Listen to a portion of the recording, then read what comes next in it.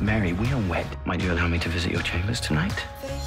If you fail to produce an heir, my family is ready to step in. We are working on it.